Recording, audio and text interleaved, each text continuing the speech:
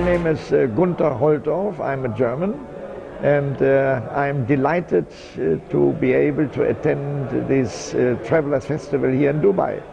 Uh, we arrived a couple of days ago and uh, have joined the last days out there listening to the presentation of quite a number of travelers in the world.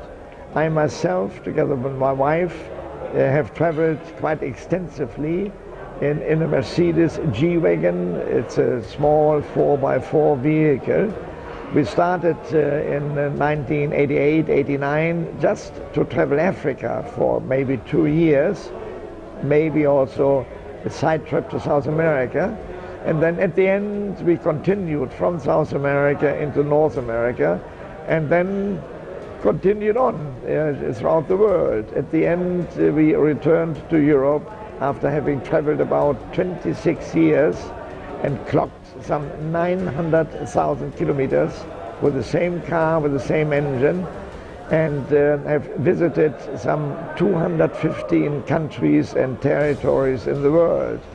That means we have been more or less everywhere. Certainly we didn't make it to the poles, neither to the North Pole nor to the South Pole, but whatever was possible, we did.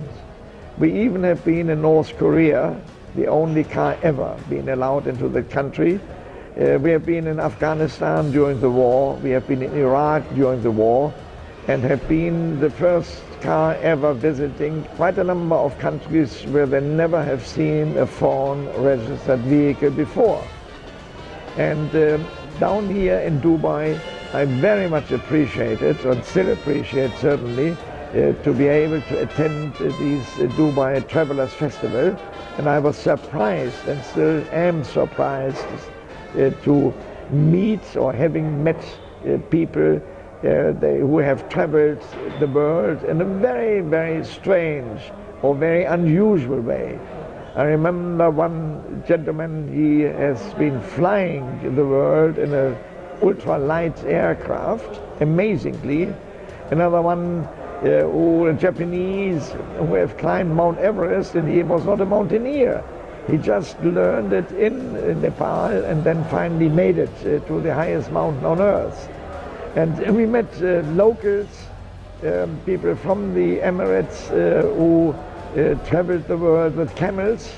And yesterday I spoke to a group of uh, gentlemen who have driven their motorbikes in Africa and also made it from here to Europe by bike, quite amazingly.